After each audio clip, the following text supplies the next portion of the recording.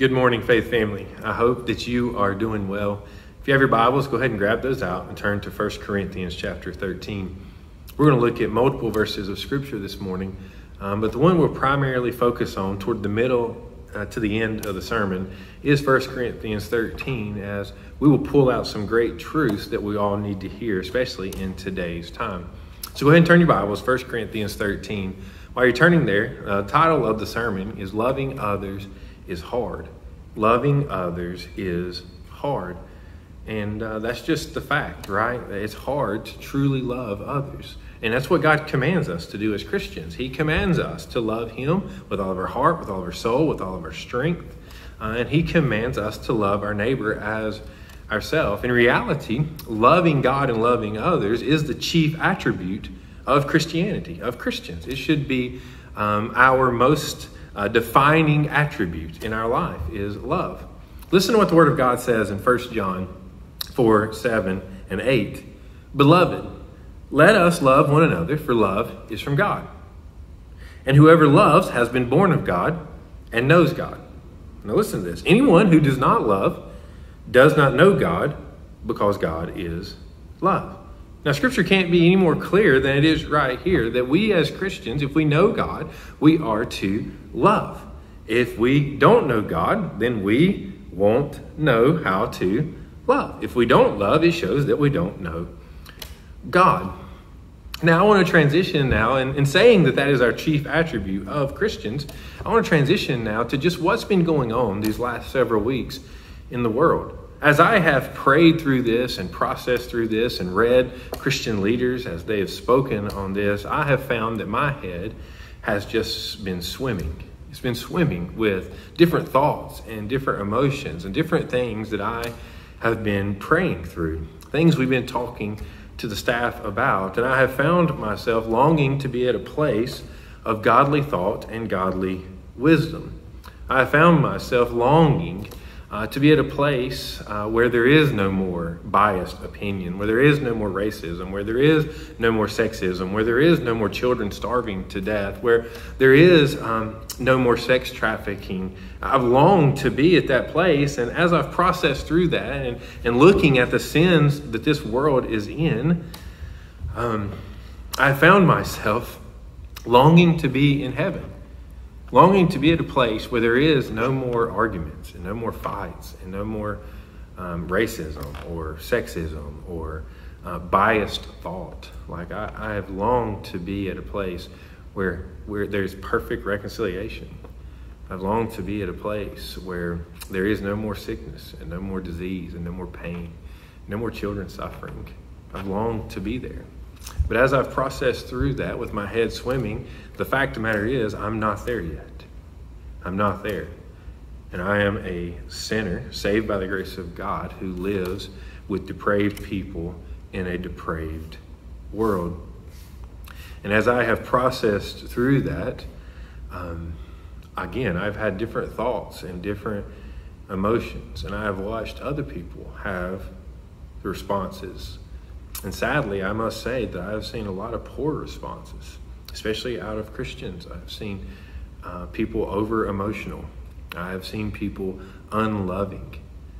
Um, and I've began asking myself uh, what a Christian response should look like. What should we and how should we as Christians respond uh, in this depraved world with all that's going on? Um, and I've kind of landed at a few different spots and some spots I want to share with you this morning as I was processing through that and uh, just seeing all that's going on in the world, longing to be at heaven, but realizing uh, that we as depraved people have to live in this depraved will and world until God calls us home. Then processing and saying, man, we have to respond as Christians in a way that shows love. And what is that? Um, I again started just jotting some things down, started just uh, writing some things and thinking through a few different things. And the first thing that I wrote down is uh, I asked myself, who are the people uh, that God has called me to influence? Who are the people that God has called me to lead? And as I began writing uh, and jotting things down, I found that there's only a select group of people that God has called me to lead and have influence over, and that I need to be faithful in that. The first is my family. Right? God has called me to be uh, faithful in how I lead my family for the glory of God. God has also called me to be the lead pastor here at New Union. And so God has given me um, a few, several hundred people here um, to shepherd and to lead and to love and influence for the glory of God. And then if I make the bullseye a little bit bigger, um, God has called me to influence this community for the glory of God. That He sovereignly uh, placed me in Ray County uh, to influence this community for the glory of God and to lead lost people to Him. And so as I began processing through that and my head swimming with all the different things that are going on in this world and trying to pray and process through that, I really found myself more grounded, thinking and asking God the question Who have you called me to influence for your glory? Who have you called me to lead for your glory? And as I began to write that down, it really um, put my mind at rest. It really targeted how my uh, leadership and who my leadership should go to and how it should be to those people that God has called me to lead, like my wife and my children, my family, my church family, my community. And so as I began, I thought to myself, man, what, um, what does my family and my church family, my community, what do they need to hear from me? What do they need to hear from me during this um, rough time that we're in? Um, just with all that's going on in 2020. And the first truth that I need you guys to hear is this truth number one God's word guides us and is our authority. If I could lead you and influence you, uh, that would be my truth number one that God's word guides us and is our authority, not the news. It's God's word, not our own opinion, not our own emotion, not our own thought. Our hearts are wicked. And some people say, Well, I know in my heart what is right. Well, your heart is wicked. It tells us that in the Word of God, in Jeremiah, that, that our hearts are wicked and sinful.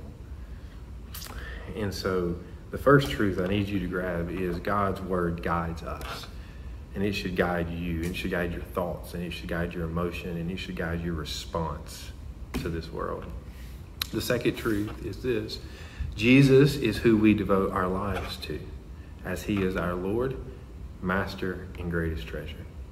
He is who we devote our lives to. He is who we proclaim. He is who we cling to. He is who we submit to, and we seek to live our life to glorify Him. Truth number three the gospel is the Great Commission and our mission in this life. The gospel is the Great Commission and our mission in this life. Truth number four God is just, and we should reflect His justness. I need you to hear that this morning. God is just, and we should reflect his justness. Micah 6 8. He has shown you, O mortal, what is good. And what does the Lord require of you? Hear that. And what does the Lord require of you? To act justly, to love mercy, and to walk humbly with your God. Let me read that last little bit to you again, church family to act justly and to love mercy and to walk humbly with our God. Fifth truth I want you to grab hold of as I was just jotting things down is this we are called to love God and love others. So, yes, the Word of God is our authority. Yes, we devote our life to Jesus. Yes, we go out and proclaim the gospel as, as our mission for life. Yes, we are to reflect justness because God is just, and we are to love God and love others. That's what we're called to do. Matthew 22, 36 through 39 says this Teacher, which is the greatest commandment in the law? And he said to him, You shall love the Lord your God with all your heart and with all your soul and with all your mind. This is the great and first commandment. And the second is like it you shall love your neighbor as yourself. Like, let that sink in. What about Romans 12 14? Bless those who persecute you. Bless and do not curse them. What about 1 Peter 1 22? Having purified your souls by obedience to the truth for a sincere brotherly love, love one another earnestly from a pure heart. What about Luke 6 27 through 36? But I say to you who hear, love your enemies. Do good to those who hate you. Bless those who curse you. Pray for those who abuse you. To the one who strikes you on the cheek, offer the other one also. And from the one who takes away your cloak, do not withhold your tunic either. Give to everyone who begs from you. And from one who takes away your goods, do not demand them back. And as you wish that others would do to you, do so to them. Listen to verse 32. If you love those who love you, what benefit is that to you? For even sinners love those who love them. Even sinners love those who love them. And if you do good to those who do good to you, what benefit is that to you? For even sinners do the same. And if you lend to those from whom you expect to receive, what credit is that to you? Even sinners lend to sinners to get back the same amount. Verse 35. But love your enemies and do good and lend, expecting nothing in return. And your reward will be great. And you will be sons of the Most High, for he is kind to the ungrateful and the evil. Be merciful, even as your Father is merciful. Jesus showed us this. He showed us this type of love, and He expects us to reflect this type of love, to race after it and chase after it for His glory. Even as wicked and depraved people, we are to kill sin and love God and love others. But Jesus showed us this, didn't He? Look at, look at John 13, 2 through 5 during supper, when the devil had already put it in his heart of Judas to betray him, Jesus, knowing that the Father had given all things into his hands, and that he had come from God and was going back to God, rose from supper. He lay aside, he laid aside his outer garments, and taking a towel, tied it around his waist. Then he poured water into a basin and began to wash the disciples' feet and wipe them with the towel that was wrapped around him. You seen this? God served and loved the disciples, even disciples who were going to betray him and deny him. What about, what about Romans 5 8? But God showed his love for us that while we were still sinners, Christ died for us. Christ moves towards sinners in love, not away from them. God moves towards sinners in love, not away from Him. Now, church, this is hard. Loving others is hard. It is. It's hard to love others. It's hard to serve others. It's hard to love those who persecute you and do good to those who, uh, who, who treat you poorly and abuse you and curse you. It's hard to love others earnestly from a pure heart. It's hard to bless them and not curse them, those who persecute you. But God shows us this, and He calls us to do the same. So, how do we show love? Are we showing love, church family? I need you to ask yourself those questions.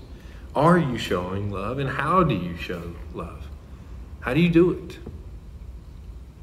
Again, as my head has been swimming these last several weeks, it is shocking to me that so many had such a quick response to all that's going on in this world.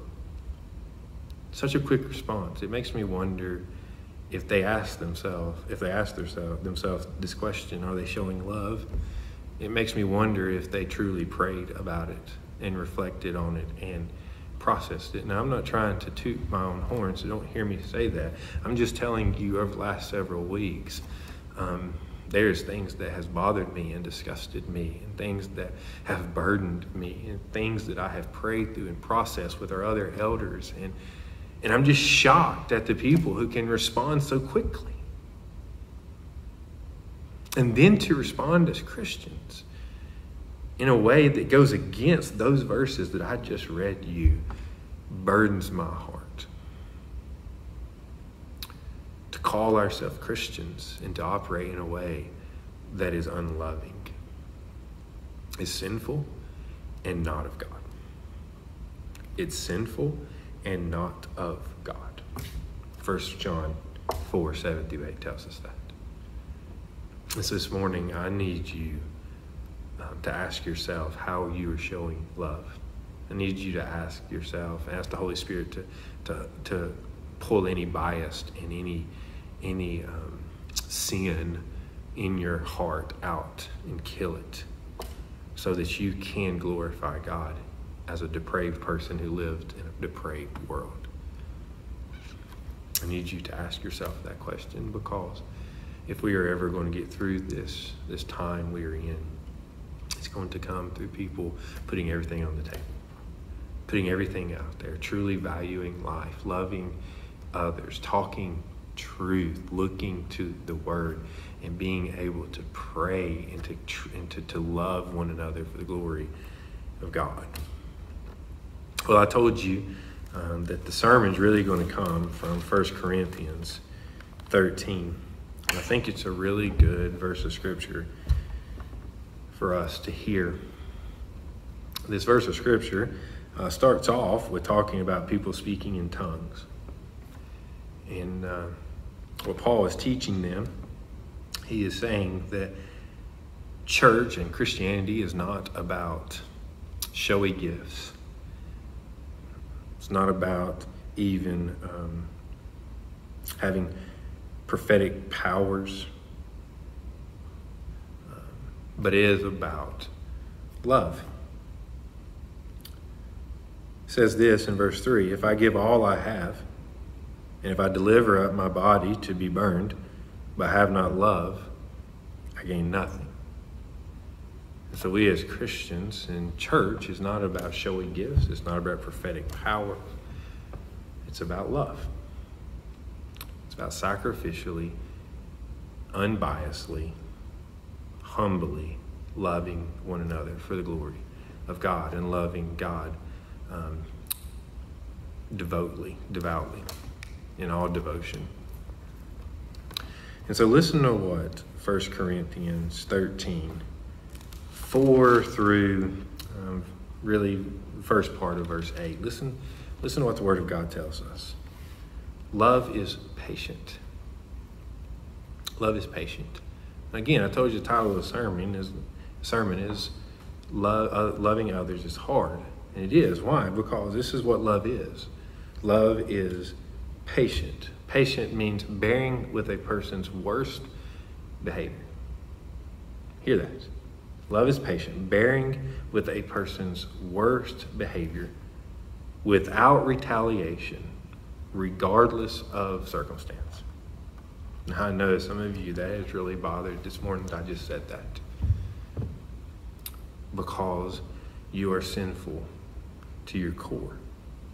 You can't imagine not retaliating. I'm asking you to repent of that.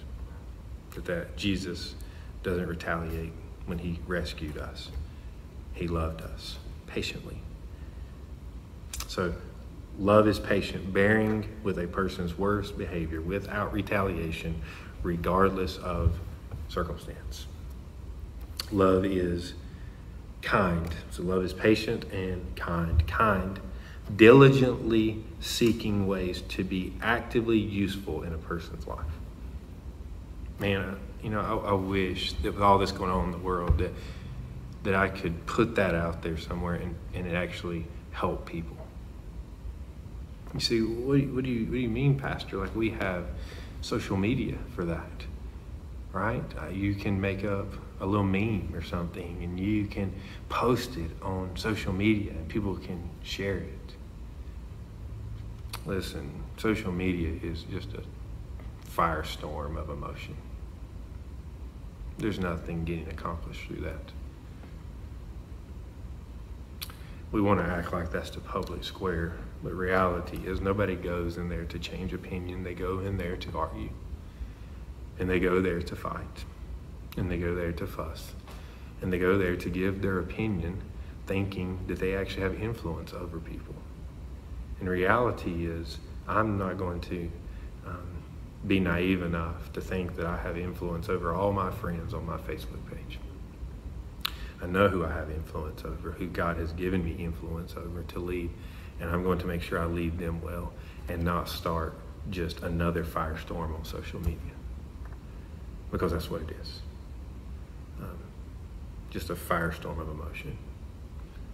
So, love is kind. I want to ask myself, how can I diligently, diligently seek ways to be actively useful in a person's life? Useful. Continue on. Love does not envy. Love does not envy. A person who envies, right? Um, a person who is envious is not of God. Love does not envy means a person should delight in the honor given to someone else. And so, listen to what the first three have told us in this description of love. Love bears with a person's worst behavior. This love is kind and it diligently seeks ways to be useful in a person's life. And it does not envy, it, does, it, it delights in showing honor given to someone else. Man, I can't wait for heaven, can you? I wish this was true of us now. I wish. Love does not envy, it does not boast, meaning drawing attention to oneself, exclusion of others. We're not supposed to be that. We don't, we don't boast. We're not envious. Continue on. Love is patient and kind. Love does not envy or boast. It is not arrogant. Arrogant. Thinking you are more important than others thinking you are more important than others. It is not rude, it means not engaging in ungodly activity. Love does not insist on its own way, believing that it's your way or the highway. Love is not irritable, not resorting to anger as a solution to difficulties, not resorting to anger Love does not rejoice at wrongdoing, never delighting in a person's unrighteous behavior. Listen to what it says in verse 6. It does not rejoice at wrongdoing, but rejoices with the truth. Love is patient and kind. It's not envious. It's not boastful. It's not arrogant or rude. It does not insist on its own way. It's not irritable, but rejoices with truth, rejoices with the things of God, the Word of God, the character of God. Verse 7 Love bears all things, believes all things, hopes all things, endures all things. Let's go back. Love bears all things, being publicly silent about another's faults. That's the definition of that.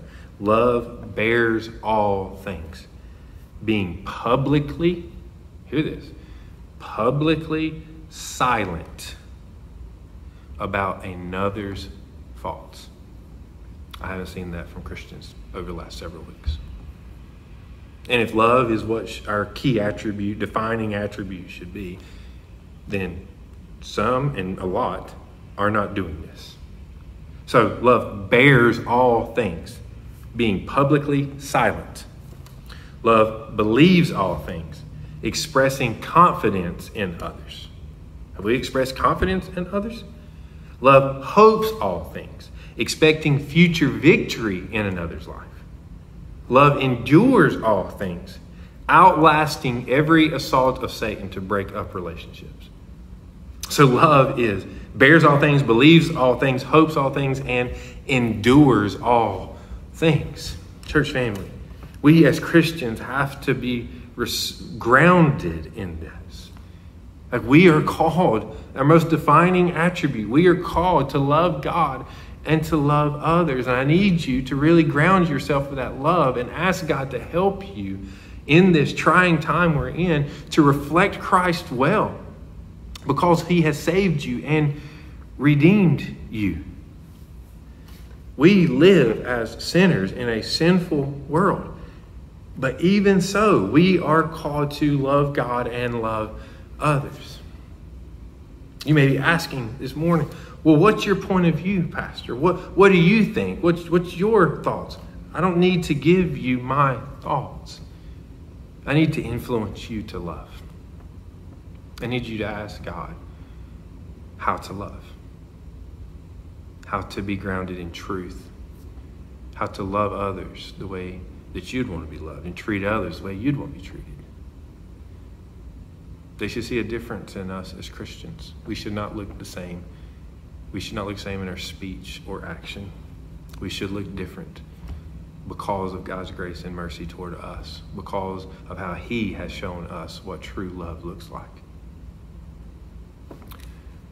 So, how should you show others love? Maybe even others who sin against you, maybe, maybe others who disagree with you or have different thoughts than you.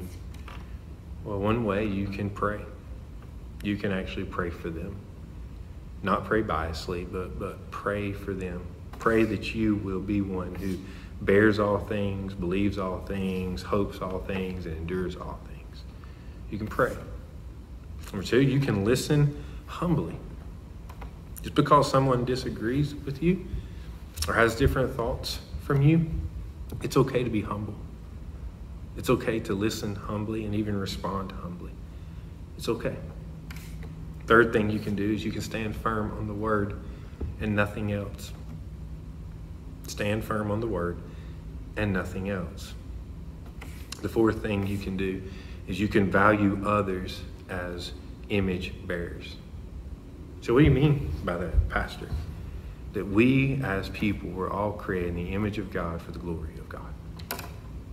Every one of us. We should value one another. We are all created in the image of God. And so we should value that because we value life. So when you value the person, that's, that's what makes it hard on social media, right? It's just something you could type and whatever. Do you value the person you're saying that to? Do you truly value them? Are you standing on the Word of God? Are you listening humbly? Are you praying for them and caring for them and seeking to love them? And then, number five, what you can do is what Micah 6 8 tells us to act justly, to love mercy, and to walk humbly with our God. Church family, when you love someone, you, um, you don't love past them, around them, or above them. You just love them. When you love someone, you don't love past them, around them, above them, parts of them. You just love them. And we are called to love God and to love others. So, church family, love people well. I know it's hard. I know that it's hard. And I know that um, 2020 is hard. I hope that it's a year that even though it's hard and loving others is hard, that is a year of spiritual growth for you and for us. That we really cling to God and hold tightly to God and kill sin and promote His love to this lost and hopeless and dying world. The fact is, this world doesn't have the answers how to fix um, what's all going on in this world. They don't. They have no hope and they have no answers. They only have anger and fussing and fighting. So that's how they do it. And that doesn't work. But we as Christians, we do have the answer. It's called the Word of God. It's called loving other image bearers. It's called loving God, loving others, preaching the gospel, letting Jesus redeem people and change people, letting the old man die and the new man be raised to life uh, through Jesus and the Holy Spirit indwelling inside of them. We have the answers. So, how about instead of uh, stirring up trouble, we point people to the one who has the answer, and his name's Jesus? How about that? How about we love people well? How about we influence the people that God has put us to influence and lead and point them to the Word of God for the glory of God? That's where I've landed, church. That God has called me to influence you and to point you to the, the Word of God and to the love of God for the glory of God. So I hope that you will influence the people that God has put you over to influence well for His glory. I hope that you will be people who love and seek the Lord and walk humbly and justly for the glory of God. May God bless you and keep you. May his face shine upon you and be gracious to you. May he lift his countenance upon you and give you peace.